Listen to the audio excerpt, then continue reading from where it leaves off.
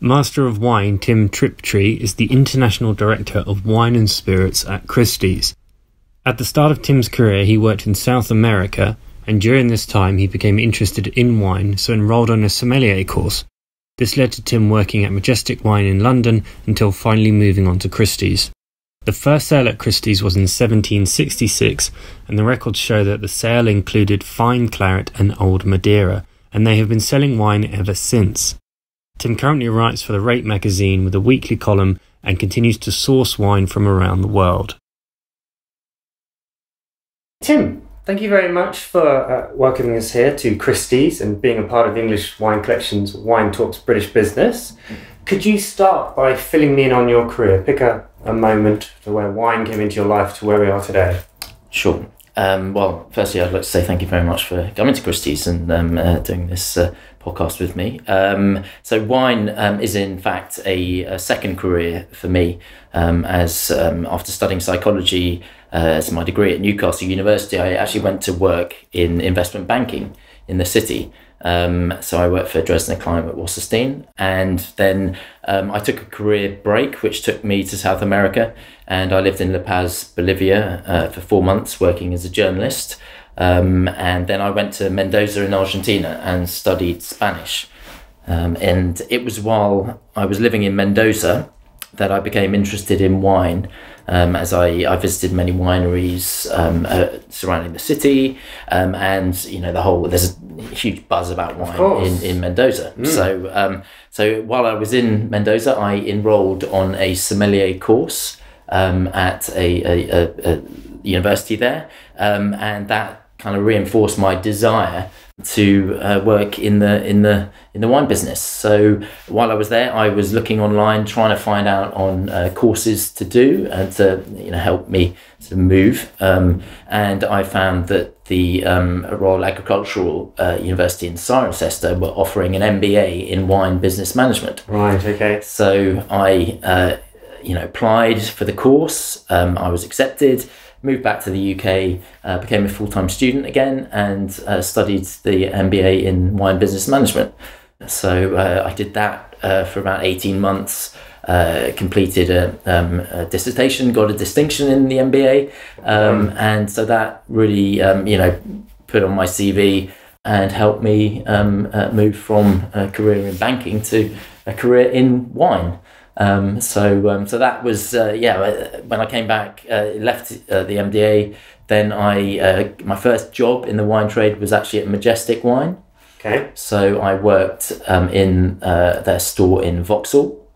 Um, and then uh, Christie's, an opportunity arose at Christie's. Initially, was um, just a, a, temporary contract as a junior specialist in the wine department at Christie's. Okay. And uh, here I am, almost fifteen years later, still working in uh, Christie's wine department. It's a good job to, to get you on board with wine. Yes, yeah, yeah. Tell me a little bit more about the. It was a very brief moment, but you said working yeah. as a journalist. Can you can yeah. you think of any memorable moments from that, or? Um, I mean, it was. Um, I mean, it's just a fascinating place to be to be living. Actually, La Paz. So that was it. Was kind of like it was work experience. So it was a career break. It was a company that um, uh, does these career breaks, and and so so they kind of placed me um, working in in uh, for the Bolivian Times, which is um, a very small uh, readership. Uh, um, Bolivian Times. Yes, yeah, I think a readership of about less than hundred people. Um, but uh, it was more about the experience of living in of course, you know, um, yeah. a South American city. So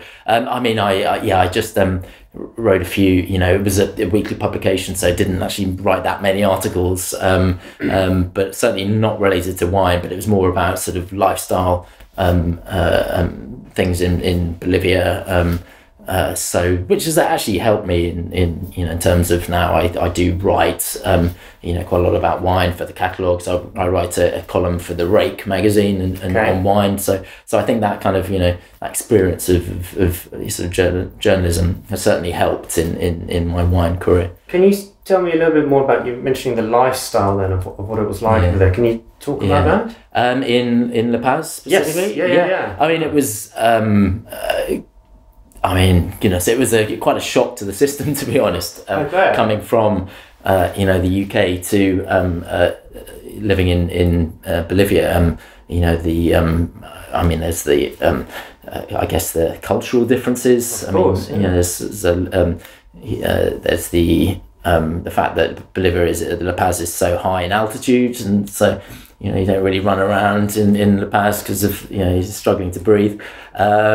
Um, but um, and yeah, it was just uh, fascinating. It really opened my eyes to to um, um, you know the world out there, and um, so I, I really did enjoy um, my time in in La Paz. Um, uh, but it was mainly actually you know living and then moving to Argentina, studying Spanish um, in Mendoza, which really it, I guess it was a life changing experience for me because then you know I never thought when I first arrived in South America that I'd be, end up uh, working in the wine business. Did you find much of a difference between the two locations? Yes, yeah, yeah, very, very different. I mean, um, I guess Bolivia was um, a lot colder.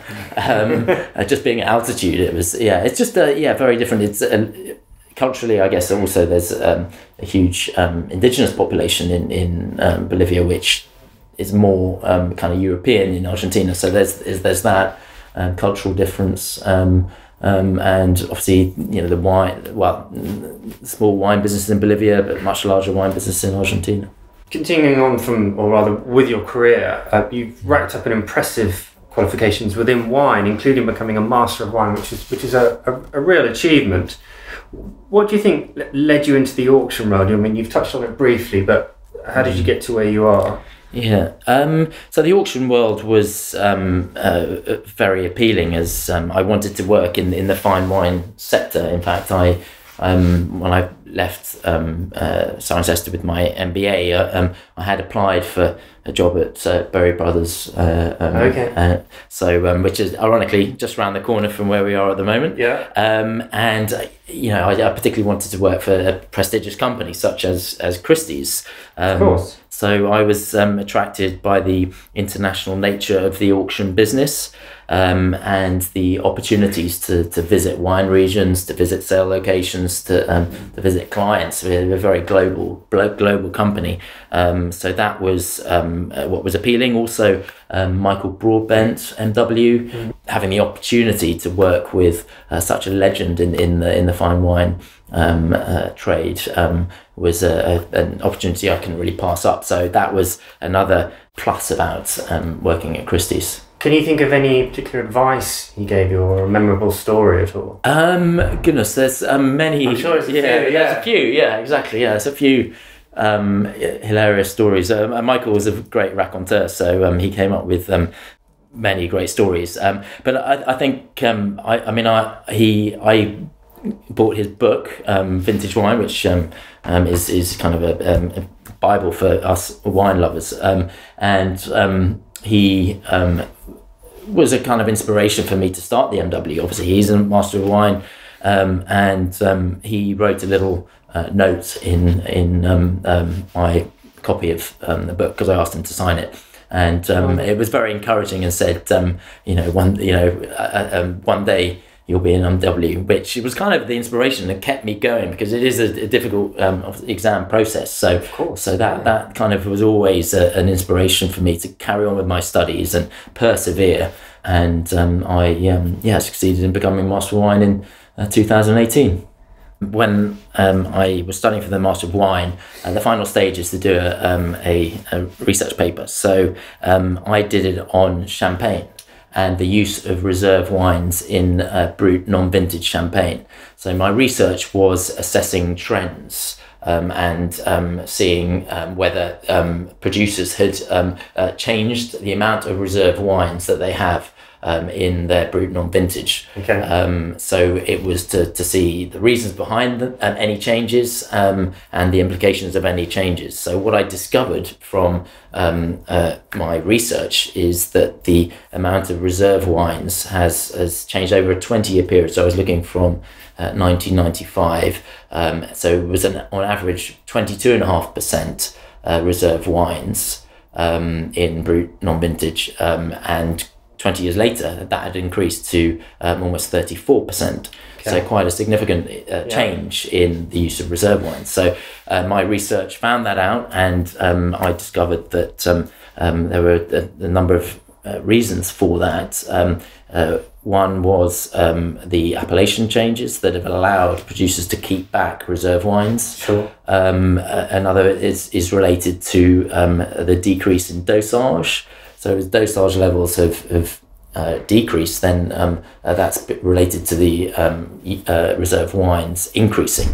Um, because dosage was um, typically used to, to maybe mask the raw, uh, sort of um, really young wine. Um, so if you have less of the younger wine, then you know you don't need as much sugar to to, to, to compensate for that.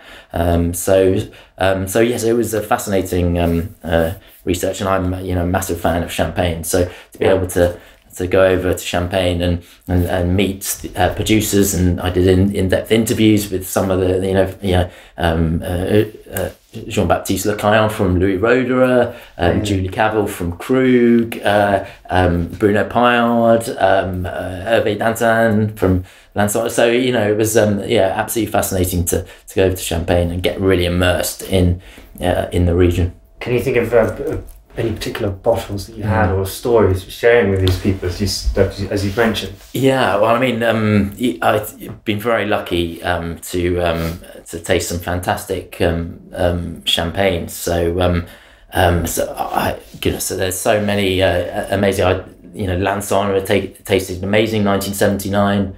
Um, uh, uh, tasted blind actually, so okay. and tried to guess. Uh, yeah what what vintage it was. Um, How did you do? Yeah, I did it not bad actually because I uh, yeah I I I, I think um, yeah it was uh, um, I got it sort of around that ballpark area so um so that was that was great. Um, it must have been great to try those wines. Yeah, yeah, absolutely. So yeah, so yeah, that was fantastic and. Um, you know Charles Heidsieck as well. We um, tasted some pretty, you know, some uh, superlative vintages. So um, so yes, I've been very lucky in, in that respect. Uh, um, so uh, yeah, it must be a unique opportunity really to, yeah. such a, a um, be able to touch these wines, quite literally to have them that, that aren't available normally. Yeah, absolutely. Yeah, so very very fortunate.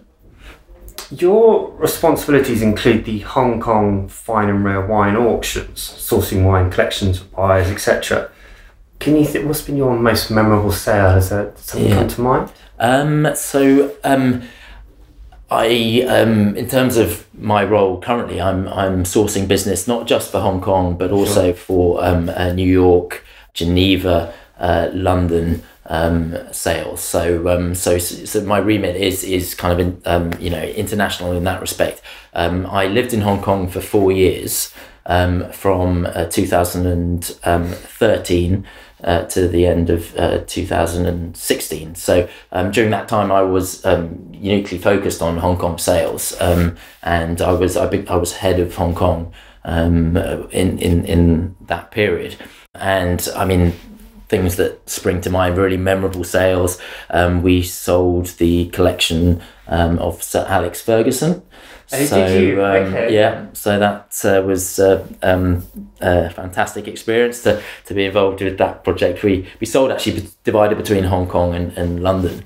Um, was it quite uh, an easy sell? Like, uh, was the interest there because it was him or because of the wines? I think it was um, because of the wines predominantly. Good. I think um, yeah. because you know he had he he certainly had a, a, great collection. I mean, he he was a um, you know obviously uh, um, amassed some some incredible Grandi Conti, um, uh, some fantastic um, Tuscan wines, um, uh, you know, so Bordeaux. So um, so yeah, it was the, the wines kind of you know sold them you know sold themselves. It, yes, exactly. Yeah, but obviously having you know Sir Alex Ferguson's name behind behind the collection was was also fantastic. So.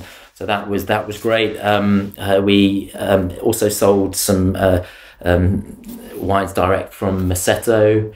Um, so um, people, I guess, when they think of Christie's, think predominantly of French wines, but you know we sure. do sell wines from you know Italy. Um, is a particularly important area for us. So um, you know the wines of Masseto. So we did um, a, a fantastic pre-sale dinner um, with um, uh, so Axel Heinz, um, the winemaker from Masseto, okay. um, uh, came over and um, we, we drank some uh, fantastic Masseto um, back to 1997, um, which was was great. Um, so um, so there's so many highlights that uh, it's, it's quite difficult to to sort of you know pick out um, a few. Um, um, but um, so um, I think it, talking about highlights from London, because obviously I'm in, involved in, in London sales. Mm. so we uh, also sell uh, spirits. so whiskey, we sold a bottle of Macallan 1926 for 1.2 uh, million pounds. right. Which uh, was uh, incredible. and oh, sorry, was that a single bottle? One single bottle, yeah. That yeah. is incredible. Yeah. yeah. And um, in the lead up to that um, auction, we arranged a, um, a fantastic tasting. We had the master distiller from the Macallan came down, oh, wow. and we, um, you know, the, opened a 1937 fine and rare Macallan. We had a 60 year old Macallan. We had a 50 year old Macallan, and uh, yeah, to taste these wines in the presence of the master distiller was um, yeah very very memorable. And did he talk much about them? just enjoying. I mean, they're just yeah, really complex, um, fantastic uh, whiskies that we were tasting from the Macallan. So um, so that was um, yeah. I mean, and but to have the input from the master distiller as well um, was just an added bonus, really. Yeah, I bet.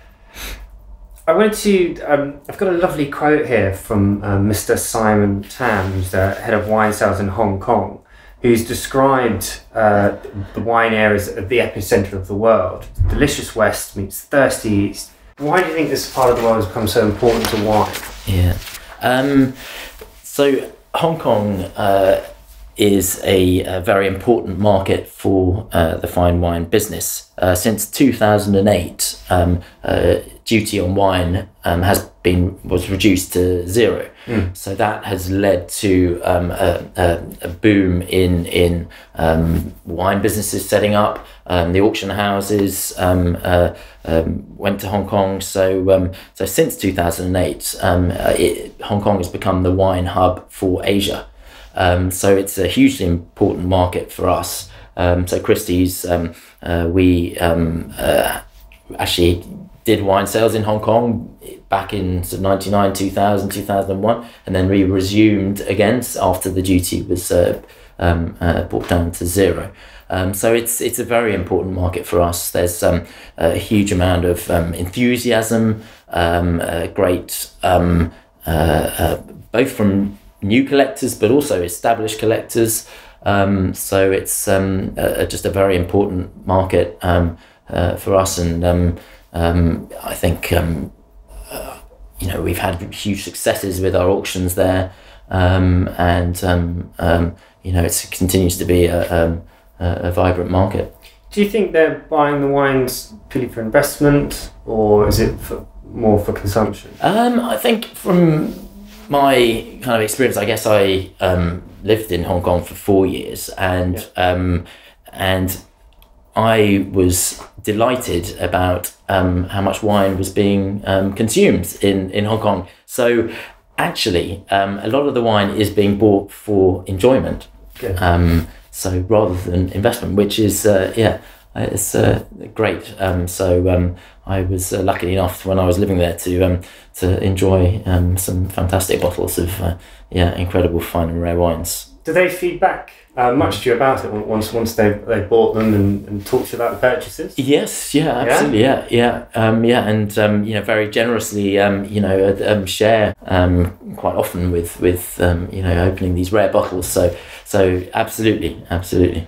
That must be amazing having mm. you know being a part of the, the, the sale and the transfer and to actually mm. have them shared with you as well. That's yeah brilliant.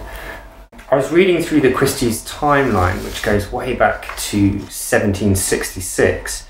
And I was just wondering, what information do you have about the wine that was available then, if there was any, or, or the early days for Christie's? Yeah, sure. Um, in James Christie's first sale, um, which um, was over 250 years ago, in, in the first sale in Pall Mall in 1766, uh, um, it included um, uh, fine claret and fine old Madeira. In fact, right. um, I do have um, a copy of the uh, auction uh, oh, wow. catalogue. So, um, so yes, uh, so in that first sale, um, it, it, did include wines.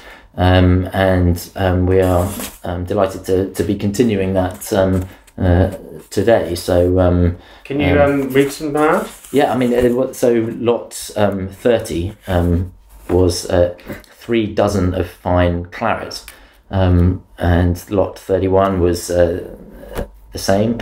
Um, then lot thirty-five was three dozen of fine old Madeira. So um, okay. so they didn't have the specifics of exactly what Not it the was. clarifications as were. No, yeah. exactly. Yeah, but um, but they um, so um, people were buying uh, fine claret and fine old Madeira back in back in, in these days. And um, I mean, uh, we have an archives department here at Christie's um, in London, and um, we have the very f- the first very first auctioneer's book, which is this is a kind of a reprint of, um, and every single auction book um, subsequently here. Um, so it's fascinating to be able to go and have a look through the archives Of and, course, yeah. and see these things. So um, so yeah, it's uh, yeah. So What's anyway, the that, condition like of, of the yeah, the um, the paper and yeah, um, I mean, it's you. You've got to be quite, you know, yeah, yes, exactly, yeah, yeah. But um, I mean, you, you know, you, you you're welcome to have a look. You can make an appointment, and um, Wow. you know, um, you. so um, but this is a so you can have that. That's Yes, a memento for you to take with you, actually. Thank you. So what? I just just Mhm. just uh, uh, going on from that. What does the paper feel like? I mean, have you had the opportunity to go through and is, how brittle it is? Yeah, well, um, I mean, I that's probably best. Um, uh, um, I mean, I'm not really touching these things, so um, Good point. yeah. Um, so um, so yeah, you just kind of look rather So than go through. touch. Yeah, yeah, for the really uh, yeah older. Well, that's great that you've, you've done a, a, a reprinting here of, uh, with all of the details. Yeah, That's such a, a, a wonderful thing to have. A, Mm. The living history always brings it apart, which is, is very much in keeping within wine because it is, you know, it goes on its own journey within the transformation of the liquid within the bottle and from grapes. So Mm. to have something um, of, to continue on with that is absolutely wonderful. So I just wanted to carry on um, with where Christie's is now and the, the you know, movement of Christie's as a company. And Christie's Live was introduced in 2006, which obviously opens up the bidding to, to everybody online. Can you uh, talk to me how that's um, changed, how, how you guys operate here and the difference it's made? yeah. Um, Christie's Live has has created new markets and new buyers. Um, uh, it's um, enabled us to engage with um, uh, new collectors um, across across the world um, in in all our sale rooms. So, um, I mean, for example, 2019 uh, saw a significant increase in, in the number of lots sold via our online uh, bidding tool, um, and increasingly people are submitting um, bids uh, via the Christie's app. Um, so this uh, allows people to be on the move. Um, um, and also um, bidding. So it's had a huge benefit, and uh, it's uh, it. I mean, Christie's Live is a fantastic um, uh, tool for uh, people to use. Where do you see as the, the future for Christie's, an extension of that? Or Yes, I think it's. Um, uh, I think Christie's Live is, is an integral part of our our, um, our business, but it's um, you know people um, don't you know can also come to the room. They can phone um, bid, um, they can put in absentee bids. So I think it's just part of the the mix, um, and um, certainly um, um, I mean. Um, our kind of wine auctions and also we, we fall under the kind of luxury um, cluster. Um, and we um, are in particular um, uh, attracting um, new buyers. Um, so um, we the luxury cluster does um, year on year attract um, the most new buyers to Christie's. Um, so um, so I think um, you know having Christie's live is is um, a, a- huge um, benefit um, to reach these these new buyers, these more tech savvy. Um, and yeah, that is uh, across the, the scope, as it were. You think yes, yeah, yeah, absolutely. so yeah. all ages, men, women. It's really opened up the, the world for them. Yes. me. Yeah. Yeah. I think yes. Yeah. Obviously. Um. Yeah. I think it. You know, particularly with um, um. You know, the the sort of younger collectors. Um. I think. Um. Yeah. Um. You know, Christie's Live is. It's much is more of an yeah. opportunity for them, isn't it, to, to Yes. get there. Yeah. Absolutely. So if we look to the, the future now, what's Mm. what are your plans? What are Christie's plans? Where where's it all going? Um, well, I mean, in terms of um, in sort of wine, um, I think um, we are um, seeing um, an interest in in uh, wine regions, um, not just sort of the traditional kind of wine regions, but um, an increasing interest in in say the wines of, of Rioja, in the wines of um, Tuscany, um, the, Rhone, um, as well as the you know established markets of uh, you know Bordeaux, uh, Burgundy, Champagne. Um, so I think we're seeing um, you know the fine wine kind of sector is is is becoming um, increasingly um, uh, larger. Um, but uh, uh, Christie's will continue to to serve um, our ever growing collector base um, and and the needs of of our our, our clients worldwide by offering the the finest and the rarest wines. Um, spirits is another um, area that is um, I, I, touched on um, and is an increasingly important part of the business. So, sure. so you know, um, whiskies and uh, um, and uh, even Moutai. Uh, okay. So we have had a huge success with uh, selling Moutai in our Shanghai sale room.